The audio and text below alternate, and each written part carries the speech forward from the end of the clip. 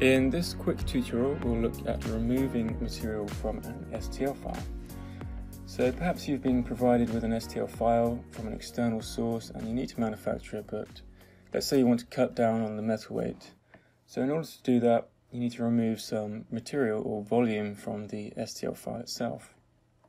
Now, since STLs are mesh surfaces and Jewelry CAD Dream is a NURBS modeler, we're very limited in what we can do in Jewelry CAD Dream itself with an STL file. Okay, we're limited to basic translations like move and scale.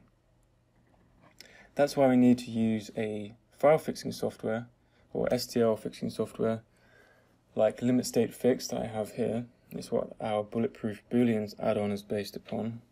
And within here we can fix our STL files for printing. You may have seen it already but we can also add or subtract STL files from one another. Okay, and the principle is very simple. We're going to create a cutter in Jewelry CAD Dream, export it as an STL file, and remove that from our original STL file. In this case, this simple line head is quite low resolution, but that will be fine. So we could do a very simple kind of thing. Maybe we come in with a an ellipsoid we could create it to the general size of the line head and move it into position and then we would export that as an STL and you can see that we'd be removing this volume from the line head. It's a simple method but you can see we're not going to get the optimal amount of removed metal from our line head there so there are some other strategies. Another method that in this case I can see it won't work but is usually a good one to use is to just scale down our original STL file. And we'll keep the original entities, we'll scale it down by 20% and we can use this to remove from our original STL and it's going to keep the general it's going to conform to the, the line head a lot better since it is the line head itself, but since we have these overhanging areas, it's going to cause some failed areas or areas that where there's going to be open cavities, and we don't want that. If we had a more simple model, this line head would really be fine if it wasn't for this overhanging ring here, then then it would be good, a good method to use. But we can't use it here. So what we can do is build up a surface using a series of curves, cross sections. And we can do this very simply with just three sketches placed on each of our global datums here. And we're just taking a cross section of our line head through each datum. There are tools, if you come into the point cloud, point cloud is the tab that deals with mesh files and if you can't see it in your your ribbon, right click in the ribbon, go to ribbon tabs and you'll be able to toggle it on and off. There are some nice tools in here for getting cross sections of STL files, mesh files. Um, it would be cross section, pick the STL model and the datum. Okay, and it will create this curve along the intersection. You could use this to maybe offset it and simplify it somewhat to create a nice curve there. But to me that looks like it might get a bit hairy and I'm just going to use a simpler method and that will be inserting a few sketches on our global datums. So I'll insert one on the YZ first and I'm just going to do a very simple trace of the line head.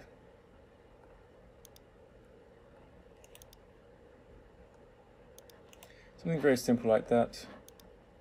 Exit, insert a sketch on the next datum, the XY.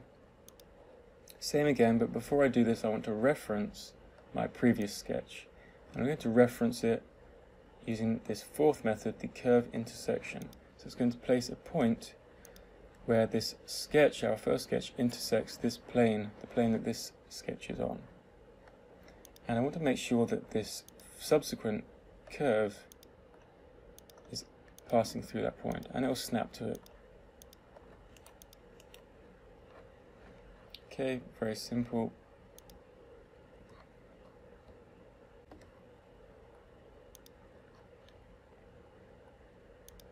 Okay, I'll be trimming out these curves to the um, datums once I have finished up.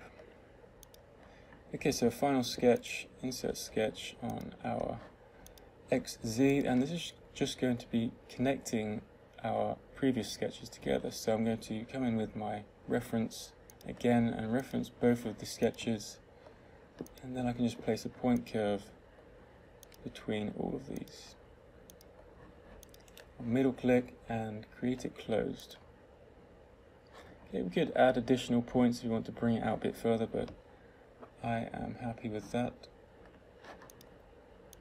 And we exit back into our part level.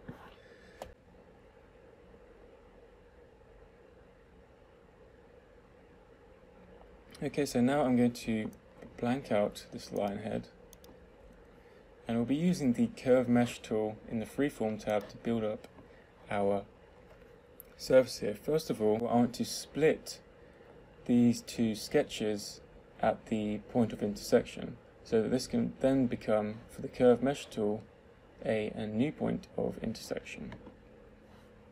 So to do this I need to project them first of all to their respective datums in order to turn them into curves. Okay, so I'm turning these sketches into curves by projecting them to their, pick the wrong one there, to their own datums. Okay, so we have our curves, now I need to split them. I'm using the trim split at point, pick the curve, the point is going to be at the intersection, so I'm right clicking, using the intersection input, and there we have split that curve, so we'll do the same for the next one, middle click, pick the curve, right click, intersection, Okay, so now we have four curves. Uh, we may want to just trim these to the um, XZ datum just to tidy it up. So I'm going to trim two faces, window pick the curves, pick the datum, and trim them. Now we can come into the freeform, use the curve mesh. We're picking these as the U segments, so left click, middle click. Okay, if the arrow is uh, in the wrong on the wrong side, we can just flip it Okay, so it's picking it from the same direction, and that will be important. Okay, so there are our U curves, and then we pick our V, it's just this one, and that is it, we don't need to keep the curves. Okay, we can come into the Heal tab, Fill Gap, pick the edge, and it's going to fill that up. Let's unblank our line head, and we can see that this is now our remove shape that is following the contours of the line a bit better than our previous shapes, albeit simplified still. Okay, so now we can export this shape as an STL file. First, I need to blank out my original block, otherwise that can um, sometimes create issues when exporting the this shape as an STL, so I'm just blanking it out to get rid of that from our window. File, Export, Let's call it line head cutter. And we're making sure it's saved as a file type STL. Save. Okay, since this is the only object in our window, we can just hit OK. Or if there's other objects, as long as they're not STLs, we can select the shapes from our window like this. Press OK. Right, so now I'll open up limit state and let's just open up the cutter to see what we have here. Okay, this is exactly what we created, it's the cutter. So I'm happy with that. Let's load up our line head, subtract, pick the cutter, and that's it.